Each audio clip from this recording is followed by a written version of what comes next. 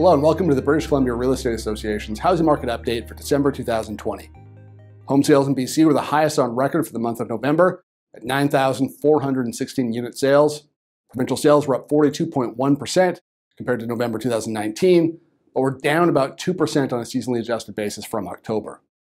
The supply of homes for sale is still feeling the effects of the pandemic as listings remain low and new listings are swiftly absorbed by strong sales. Total active listings were down 14% year over year and are testing historical lows across several markets.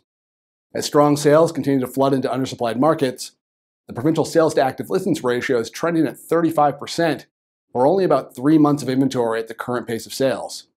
That's solidly in seller's market territory. However, in these unusual times, the normal metrics we use to gauge market conditions may not be as useful a guide, so contact your local realtor to identify market conditions in your area. Given how tight markets are, it's no surprise that we're seeing substantial increases in average prices across provincial markets.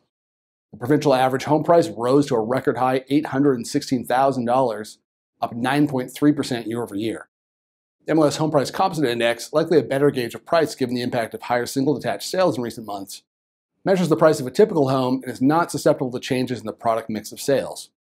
The HPI showed an increase of 5.8% on a year over year basis in Greater Vancouver and was up 7.5% in the Fraser Valley, 4.9% in Victoria, 5.3% in the Vancouver Island Board area, and 7.9% in the Okanagan Mainline Board area. Now let's take a look at market conditions around the province.